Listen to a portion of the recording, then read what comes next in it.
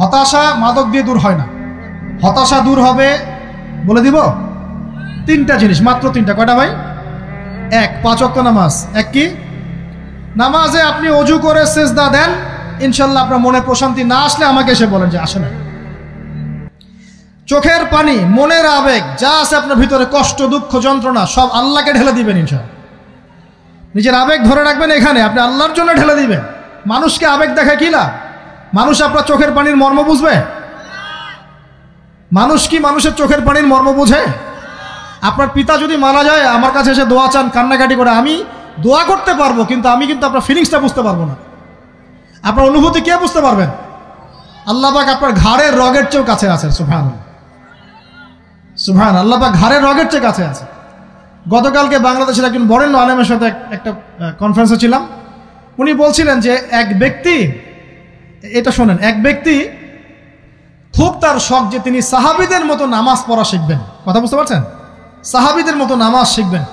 তো একজন বরেণ্য আলেমের কাছে এসেছেন, এসে বলছেন যে, আমাকে সাহাবিদের মতো নামাজ শিখিয়ে দেন। তখন সেই আলেম আরেকজন আলেমের সন্ধান দিয়েছেন যা তুমি তার কাছে যাও, তিনি শেখাবেন। তো সেই ব্যক্তি একটু অবাক হয়েছেন, কারণ যাকে প্রশ্ন করেছিলেন তিনি অনেক বড় মহাদ্দেশ আর যার কাছে পাঠানো হচ্ছে তিনি অত বড় মহাদ্দেশ নন, কিন্তু আবেদ, আমল করেন। তাকে গিয়ে বলছেন, উনি আমাকে পাঠিয়েছেন, সাহাবিওয়ালা নামাজ শিখিয়ে দেন।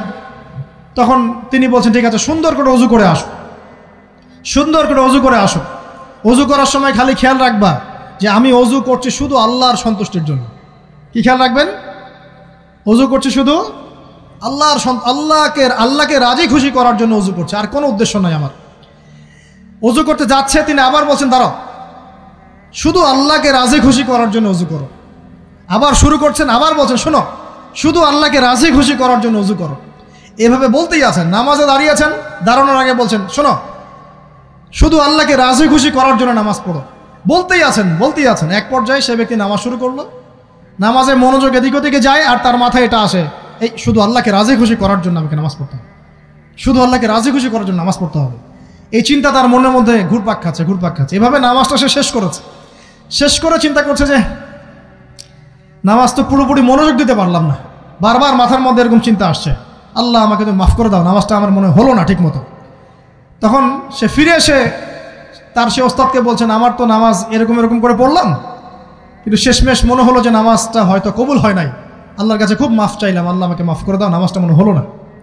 তখন সেই যে প্রথম ব্যক্তি যিনি পাঠিয়েছেন, তিনি বলছেন, এটাই হলো সাহাবিওয়ালা নামাজ। তারা আল্লাহকে রাজি খুশি করার জন্য নামাজ পড়তেন নামাজ শেষ করে আল্লাহর কাছে ইস্তেকফার করতেন, আল্লাহ কিছুই হলো না, কিছুই হলো আমার কথা কি বুঝতে পারছেন? অতএব আল্লাহকে রাজি খুশি করার জন্য আপনি আপনার আবেগ, আপনার ইবাদত সব ঢেলে দিবেন ইনশাআল্লাহ। অন্য কারও কাছে কিছু পাওয়ার আশা করব আমাকে আল্লাহ পাঠিয়েছেন দুনিয়াতে নামাজ পড়তে, রোজা রাখতে, দিনের প্রচার করতে, দিনের জ্ঞান অর্জন করতে, এই তো। তা আমি একজন মেয়ের জন্য জীবন নষ্ট করে দিব কেন? আমি তাহলে আল্লাহর কাছে কি মুখ দেখাবো আর নবীর কাছে কি মুখ দেখাবো? ওখানে গিয়ে বলব, আল্লাহ, আমি আমার অমুক প্রেমিকার জন্য আশেক হয়ে একদম জীবন দিয়ে দিয়েছি, আত্মহত্যা করেছি। গেছে ভাই, যাইতে দেন। যে ব্যক্তি আপনার অবস্থানকে মূল্যায়ন করে নাই, সে আপনার আপনার যোগ্য ছিল না।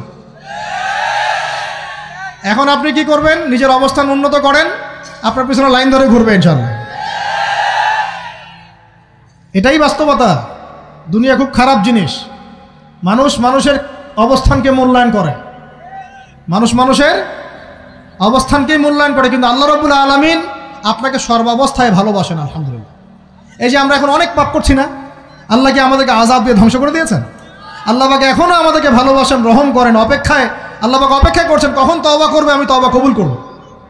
এই কখন আমার বান্দা খালি একবার বলে আস্তা ফিরুল্লাহ আল্লাহ পাক সাথে সাথে মাফ করে দেবেন ইনশাআল্লাহ। আর সেই আল্লাহকে ভুলে আপনি কার পিছনে ছুটছেন? আমরা কিন্তু নিয়াত করতে পারি ভাই, যে আমরা যারা ওয়াজ শুনলাম, জীবনে কোনোদিন সিগারেটে হাত দিব না ইনশাল্লাহ রাজি আছি ভাই? অন্য বড় বড় জিনিস তো বহু দূরের কথা। আচ্ছা অনেকে রাজি হয় নাই কেন? আপনারা কি অলরেডি আসক্ত? আমি অনেক ভাইকে দেখেছি, মাশাআল্লাহ, ইফতার খুলেই একদম ব্যঞ্জন টানা শুরু করে। হ্যাঁ? এটা যে হারাম আপনাদের কেউ ওয়াশ করে শোনায় নাই? এটাকে কি মনে করেন আপনারা? হারাম না হালাল? কেউ বলেছে মাকরু নাকি? মাকরু ফতোয়া দিয়েছে? মাকরু শব্দের অর্থ জানেন আপনি? মাকরু শব্দের অর্থ কি? একটু শোনেন। সুরা বানি ইসরাইল খুলবেন। কোন সুরা?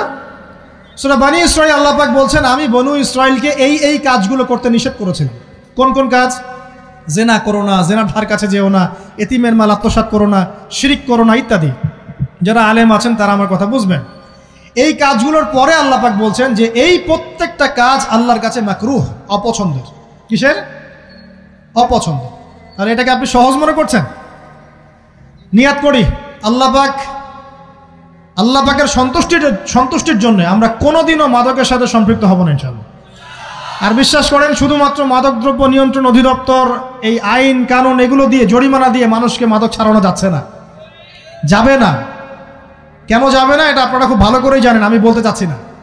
অনেক সময় মাদক বিরোধী কনসার্ট করে মানুষ। মাদক বিরোধী কনসার্টে ওঠার আগে এক বোতল ডাইল খেয়ে আসে আগে। এগুলো কি বাস্তব কথা বলছি না অবাস্তব কথা বলছি? আমাদের যুবক ভাইরা কোশ্চিন কালেও মাদকের ধার কাছে যাবেন না ইনশাআল্লাহ। একটা হাদিস খালি মনে রাখেন, একটা। এই হাদিসটা মনে রাখেন। নবী সাল্লাম বলেছেন, কেউ যদি মাদকদ্রব্য সেবন করে, তার চল্লিশ দিনের নামাজ কবুল হবে না। সিগারেট একটা খেয়েছি, চল্লিশ দিন নামাজ নাই।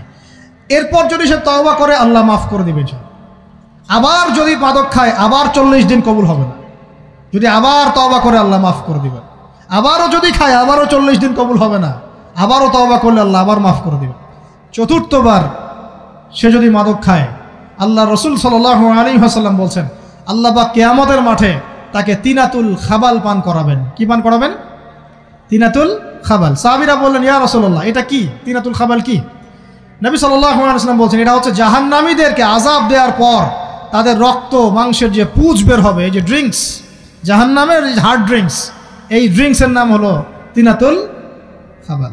আল্লাহ পাক আমাদের সবাইকে মাদক থেকে বাঁচিয়ে রাখে আমল হচ্ছে কোরআন তেলাওয়াত। যে ব্যক্তি কোরআন তেলাওয়াত করতে পারে নিয়মিত, তার মনের মধ্যে এই হতাশা, এই ভীরুতা, এই কাপুরুষতা কিচ্ছু আসবে না ইনশাল্লাহ আমি গ্যারান্টি দিচ্ছি আপনাকে।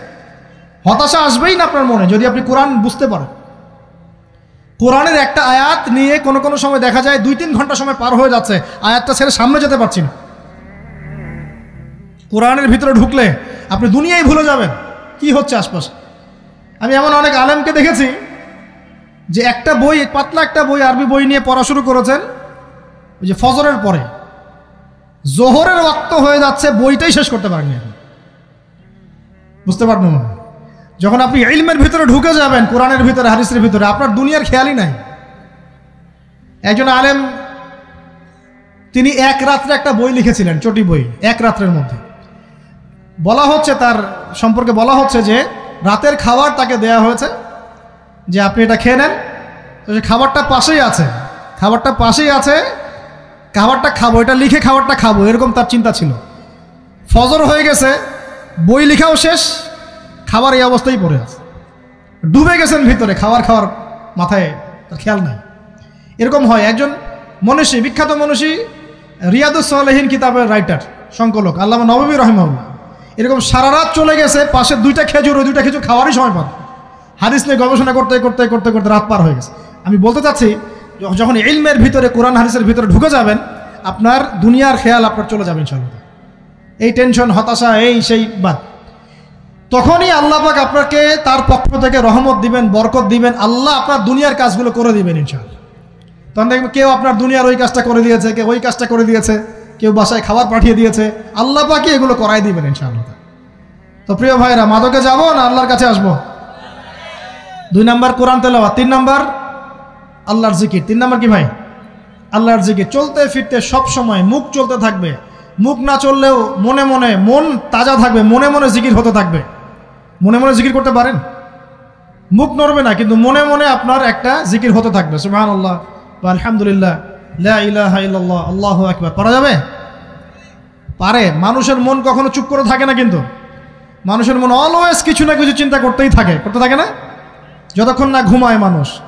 তো প্রিয় ভাইরা, বেশি বেশি জিকির করব। সুহান আল্লাহ আলহামদুলিল্লাহ আল্লাহ আকবর বিল্লাহ, এগুলো চলতে থাকবে। আল্লাহ তৌফিক দান করে নেবে আমরা আমাদের সমাজে যুবকদেরকে এরকম টিকটকে দেখছি।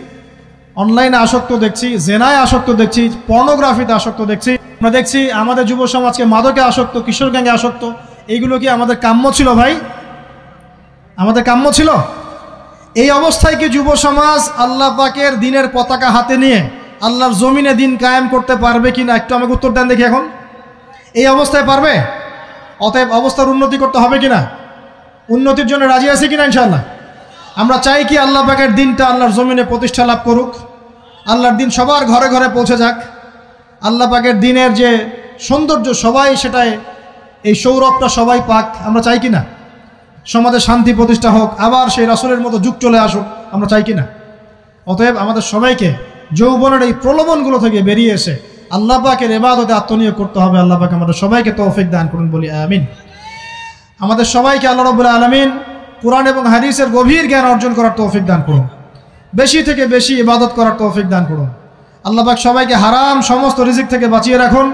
জেনা ব্যবিচার এবং নারীর ফেতনা মাদক থেকে আল্লাহ বাঁচিয়ে রাখুন। আল্লাহ পাক আমাদের সবাইকে হালাল রিজিক, হালাল সম্পর্ক যথেষ্ট করে দিন। আল্লাহ পাক আমাদের সবাইকে যেন দিনের দাওয়াতের মেহনত করার তৌফিক দান করেন এবং আলেমনামার সাথে পরামর্শ করে দিন শেখার এবং বোঝার তৌফিক দান করেন। যুবতী, দিনী বোনদের জন্য। এখানে বোনরা আছেন না? আছেন কি না দিনী বোনরা আছেন?